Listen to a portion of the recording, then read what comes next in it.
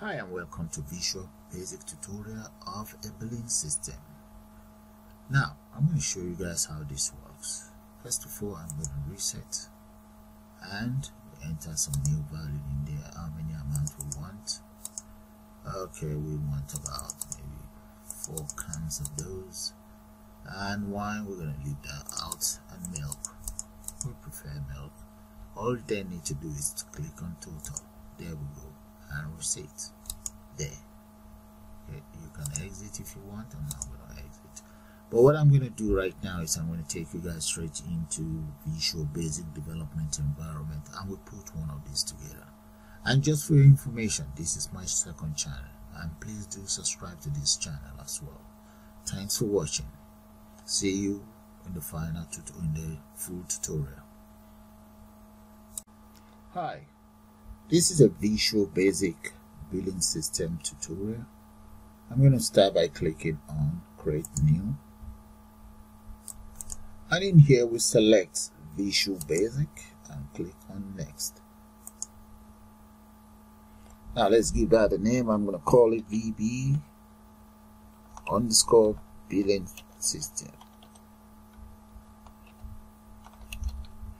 There let's just click on save. Click on create. There we go.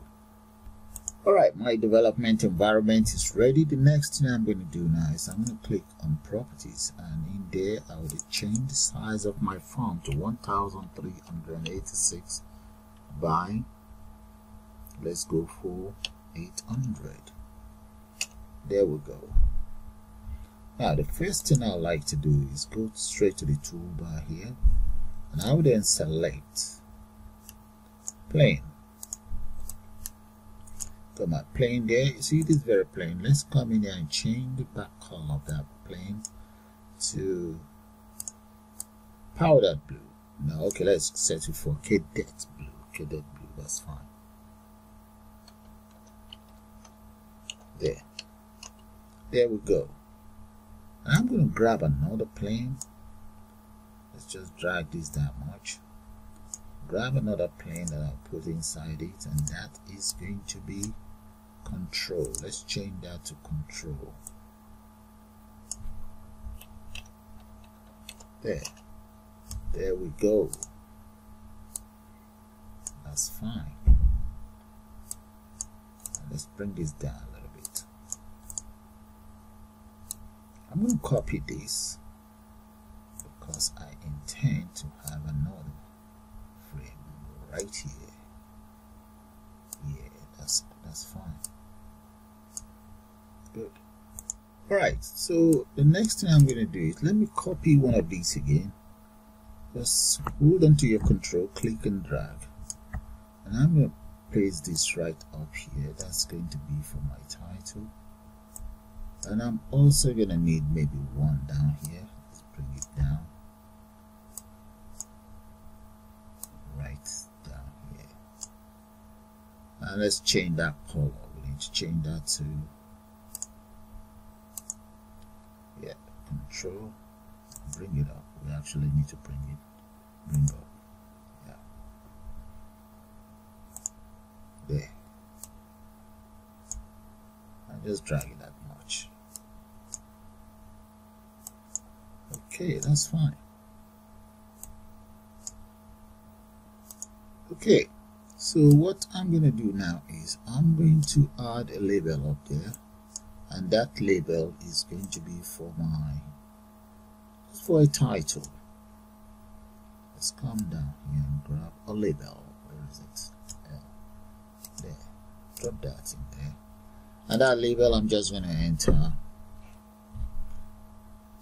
billing system or billing let's call it billing management system yeah that's fine. And I'm going to change the font size to something readable. And maybe even change the font color as well. Yeah why not? Billing management system come down here and just change the font. I'm going to make that cadet blue there done let's run it and see how that looks like. There we go. So I'm going to exit out there's one thing. See this very form I'm going to click on the form make sure it's selected go straight to the property and let's look for start position. I'm going to get that centered. There we go. And that is done. Let's come down here. We're going to need some buttons here. So let's go straight to the properties here and grab some button. One button here and this button maybe I should change it change the color of that button as well or leave it the way it is. I'm to change the color why not? Come in here just change it to cadet blue as well.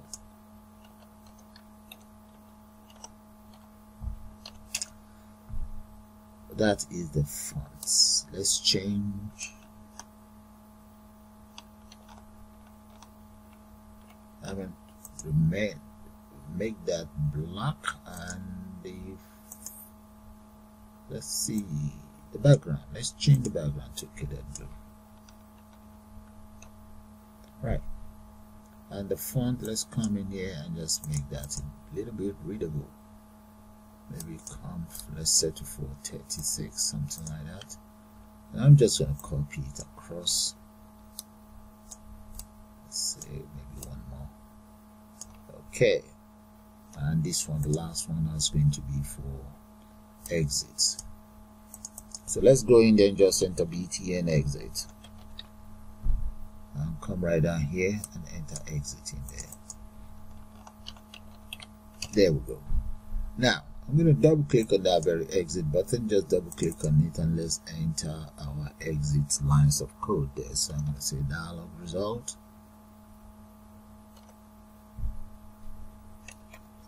thinking dialog results come on.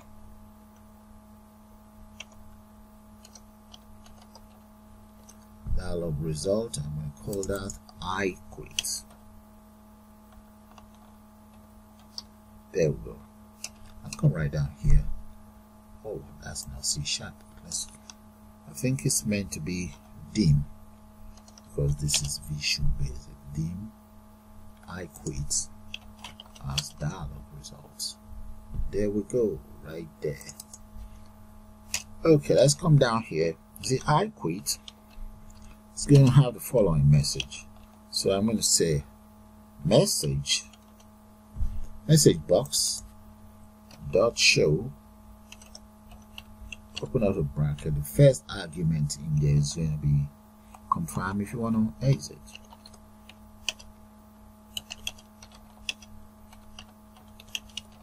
if you want to exit or quit if you want to quit okay. Confirm if you want to quit. That's my first argument. Comma the next argument is going to be the name of my project which is billing management system. There. So that's the second argument I'm going to enter comma press enter and the next argument is going to be message box buttons.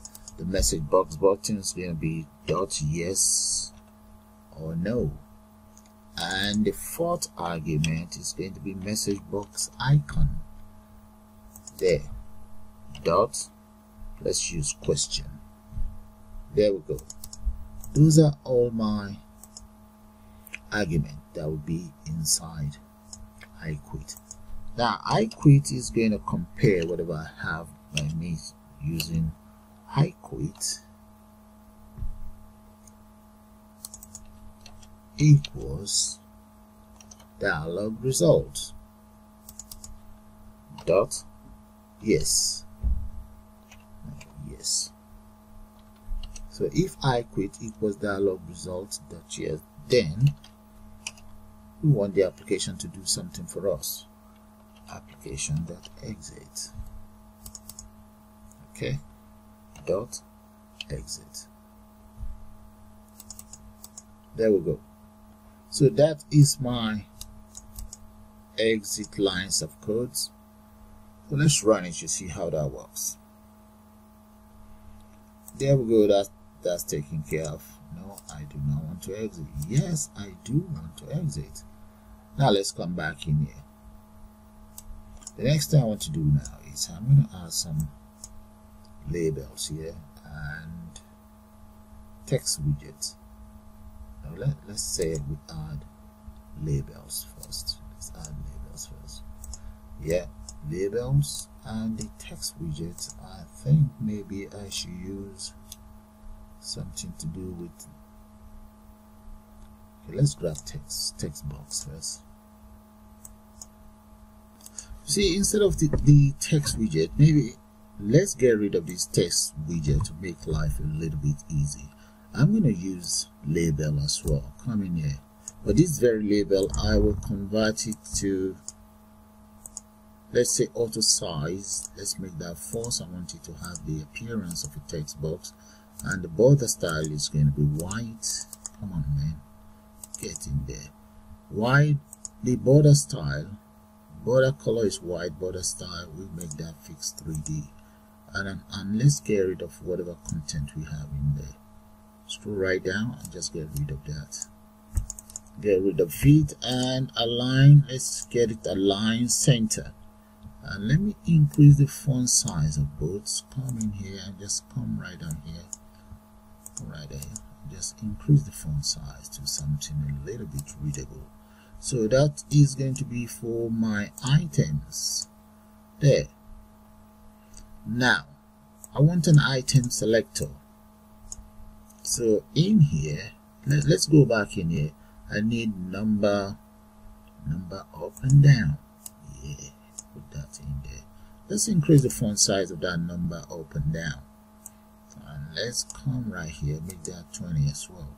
So depending on the amount of item that you select then the number of and down will just indicate for us. So let's say in here you want something like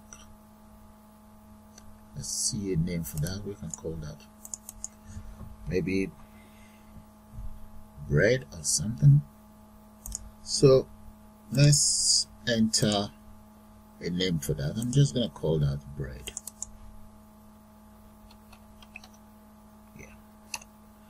and now if we look in here what I want to do is whatever amount of bread that you want when you click on this we just want the total in there but bread should have a constant. So let's come in here.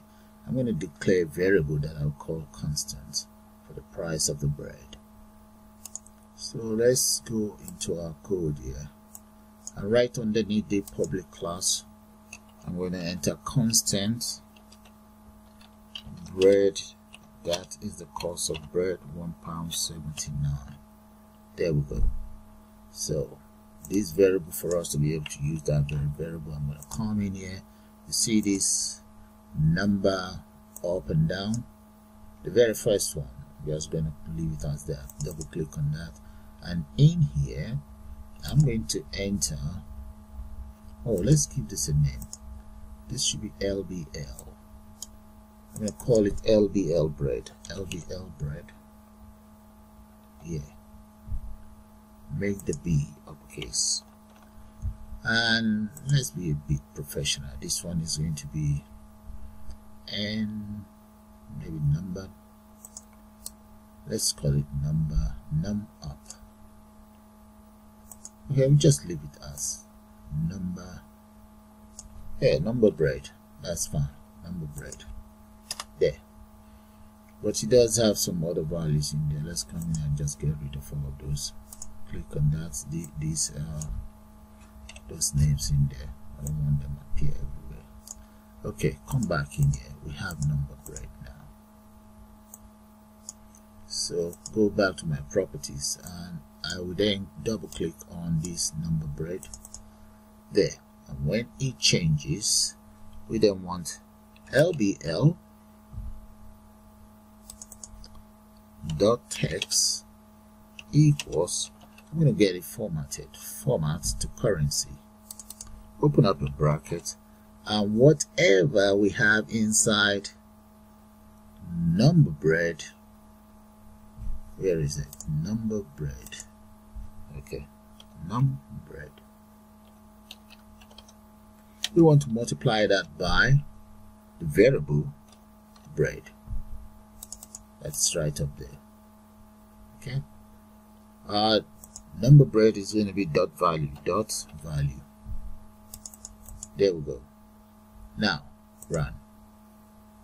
And you guys will see how easy the rest are. Let's see so whatever amount that's for one bread. You see instantly the price is given. That's beautiful. Then we need a title here and the cost number of uh, item and item. Yeah that's fine.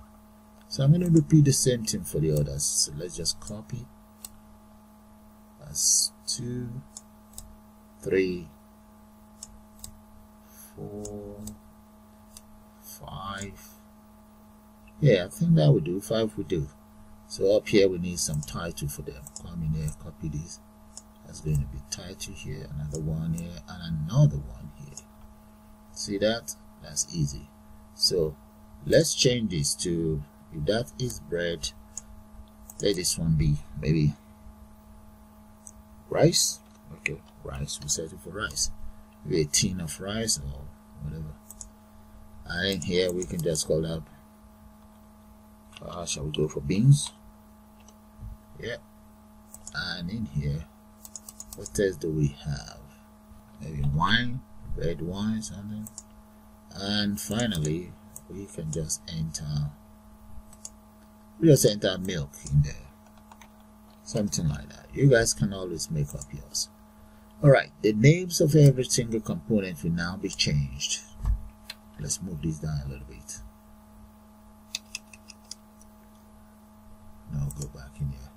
Let's move them down and even these ones need to come down a little bit. And we give them a proper name. This will be cost of item.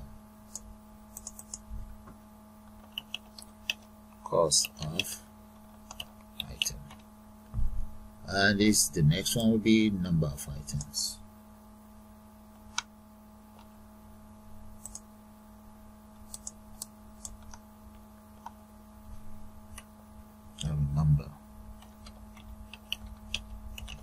number of item items. Why this one be items?